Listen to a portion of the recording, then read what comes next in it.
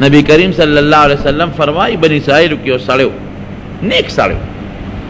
او بل یو سړی ډیر زیات ګناهګار دا نیک سړی راغی او دی ګناهګار ته نصیحت کو راځه مونږ کوا مونږ کو دی ګناهګار به مونږ نه کو یو ځل دا نیک سړی راغی ورته مخامخ ودرېد وی زما د قسم په خدای وی چې زه به جنت ته ځم او ته به دوزخ ته ځې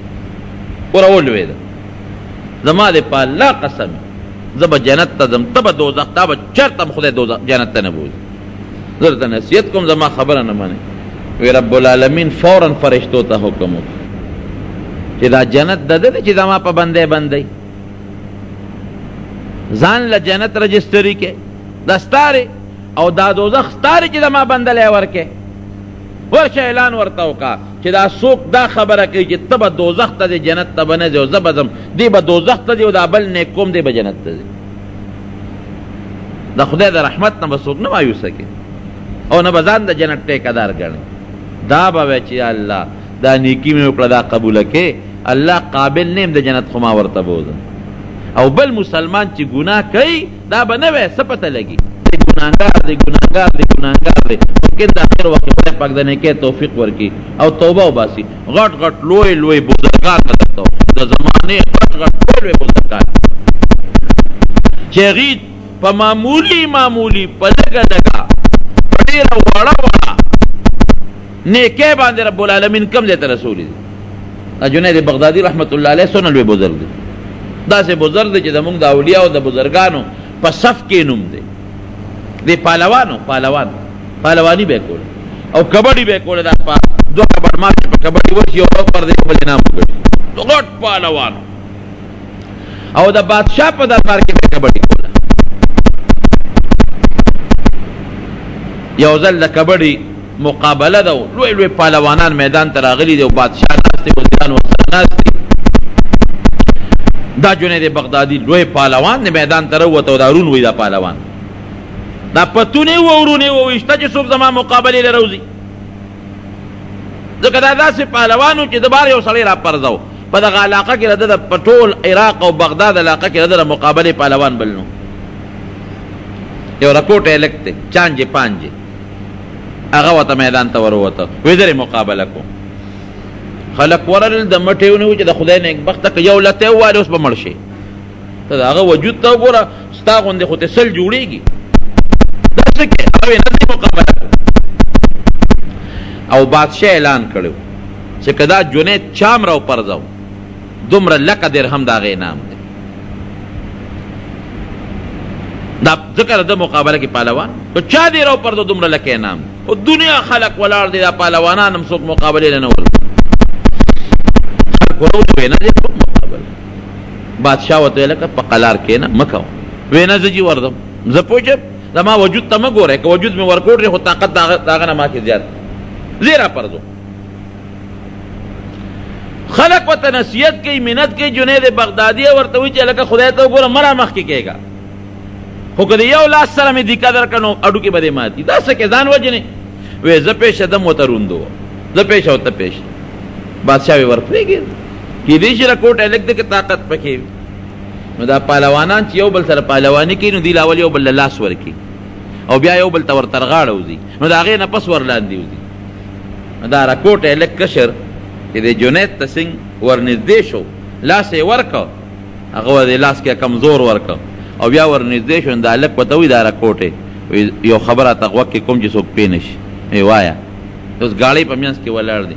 وی زه پهلوان نه یم خو زه ګورې د نبي علیه السلام نوسی یم سید یم سید ډیر غریب یم ډیر فقیر یم د انعام ګټل غواړم که ځان دې راته راوغورځوه زما د نیکه لحاظ به کې زما د نیکه لحاظ به کې ځکه د پیغمبر علیه السلام نو سیم ډېرې پیسې یې ګټلې دي نن یې بیله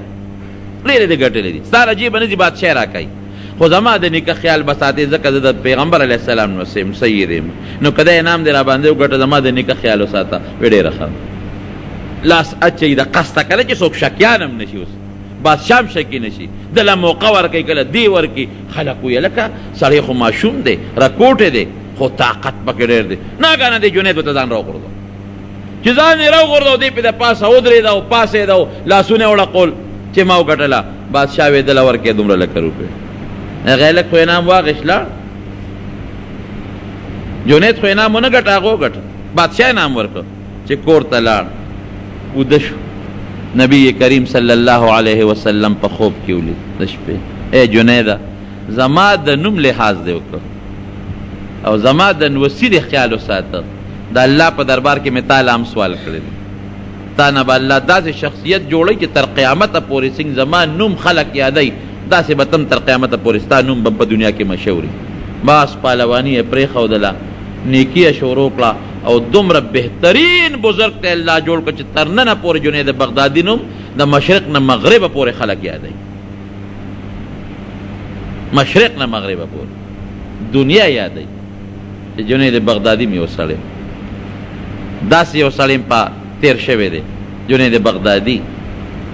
د صرف د نبی علیه السلام د نوم او د هغه د نوسي لحاظ یې معمولي غوندې لحاظ یې وکړ نو ګوره اوس پهلوان دی کبډی کړي دي نه مونځ او نه اودس لیکن یو د نبی علیه السلام د نوسي او د هغه د نوم لحاظ یې وکړ پروردګار چې څومره لوی بزرګ ولی الله د زمانې دی جوړ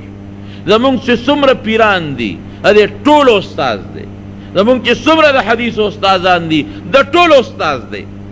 لوی محدث لوی ولی الله او لوی بزرګ د طریقت خاون دا ته الله جوړ کړ خبره مې دې پورې کوله چې دا چاته مو وایا ته خو دوزخي او جهنمي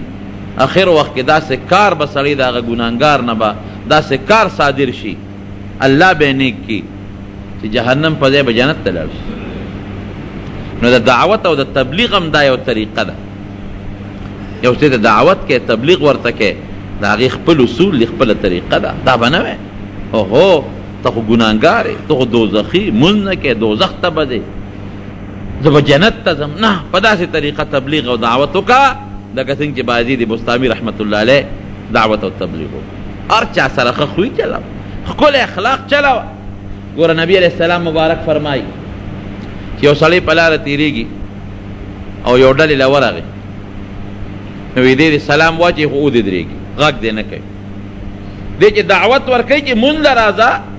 د نیکې خبره ورته کوي غږ به نه کوي چې هغوی خپلې خبرې خلاصې کړي او دله تپوس وکړي چې وروره څه له راغلې هله خبره شروع کړه ورې هسې نه چې هغوی په خپلو خبرو کې مشغولي په هغوی خپلې خبرې قطع نه کوي هغوی د خپلو خبرو نه ونه باسي دومره ښکلی اخلاق ودرېږه ورته نو ښه خوی بهترین شی